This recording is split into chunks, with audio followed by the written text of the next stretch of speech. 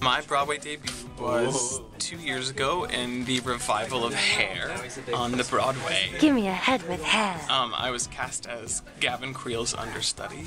Not too shabby. He got sick during previews. I hadn't had any rehearsals, no vocal, no understudy. Did you have to go on? I had to go on. It was third week of previews. It was Did you Saturday know what you were matinee. doing? I had no clue. I don't even remember the show happening. But uh, You blacked went out. on. I did a two-show day. Totally blacked out. Um, But you got was- through that it. was My debut. Oh my god. Was it amazing? Oh, it was incredible. Curtain call. You just lose it, you know. Yeah. And then Uh, where people or your friends and people make it to see you go a on A couple of people got to see me because I had a few hours notice. to let people know. Yeah. Oh my gosh. And now you're doing Catch Me, the Frank Standby, and this is number two? Number two.